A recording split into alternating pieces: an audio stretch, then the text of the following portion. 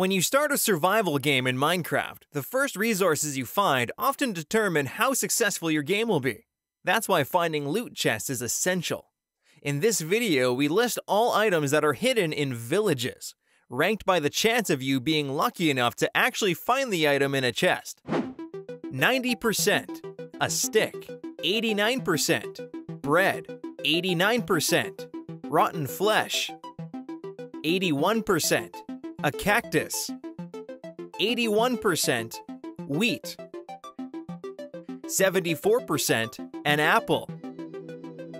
74% a potato,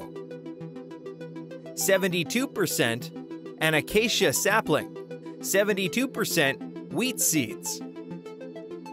66% beetroot seeds, 66% a snowball, 66% a spruce log, 61% paper, 56% a feather, 56% flint,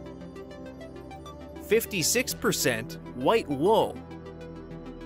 54% an iron ingot, 49% raw beef, 49% raw mutton, 49% raw pork chop, 48% an oak sapling, 46% an empty map, 46% grass, 46% tall grass, 45% redstone dust, 43% coal, 43% raw cod, 41% an iron pickaxe, 41% an iron shovel, 41% pumpkin seeds, 41% spruce sapling, 41% sweet berries, 38% stone, 38% stone bricks, 35% snow block, 33% black wool, 32% emerald, 32% an iron helmet, 32% leather boots, 32% a leather cap, 32% leather pants, 32% leather tunic, 27% a dead bush, 26% a compass, 26% a gold ingot, 26% iron boots, 26% an iron chest plate, 26% iron leggings, 26% an iron sword, 26% obsidian, 25% lapis lazuli, 24% a barrel,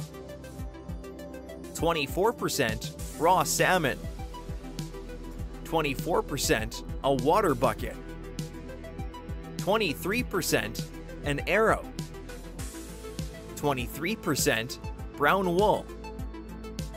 23% an egg, 23% gray wool, 23% light gray wool, 23% a dandelion, 21% clay, 21% a flower pot, 21% smooth stone, 21% yellow dye, 19% fern, 19% large fern, 17% leather, 17% a saddle, 16% diamond, 14% a book, 14% green dye, 12% shears, 12% gold nugget, 12% poppy, 11% a bucket, 11% a torch, 10% beetroot soup, 10% blue ice, 10% a furnace, 10% an iron nugget, 10% pumpkin pie, 10% spruce sign, 6% diamond horse armor, 6% golden horse armor, 6% iron horse armor. Have you already found all these items? Let us know in the comments. If you enjoyed this ranking, like the video and subscribe to help us make more comparisons in the future.